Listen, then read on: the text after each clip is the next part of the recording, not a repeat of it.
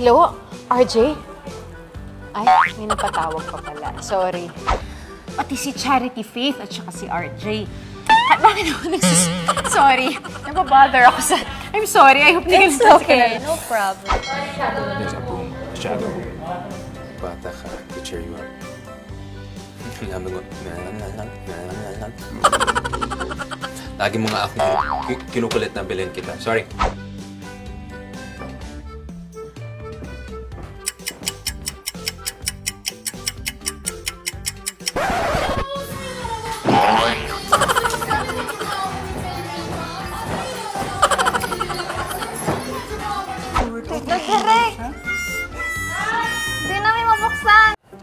Well, I already met with my staff and the, direct ay, the director, designer. Pagpasensyahan mo na si Elise. Marami siyang... Ano? Ba't hindi? Shumling. Shoot.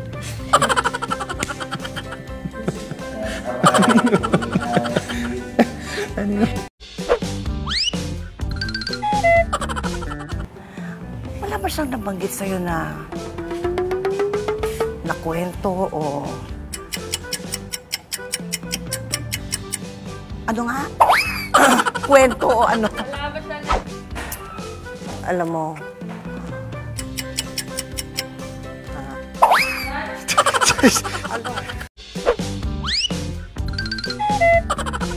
tulungan nila si Elise. At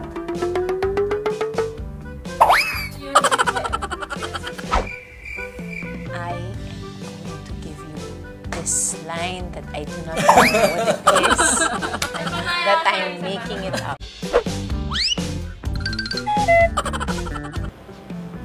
Kailangan siya mas maraming tao. sorry, sorry, sorry, sorry, sorry. Kita to. Well, after work, dadaanan kita. At 12 may... Ah!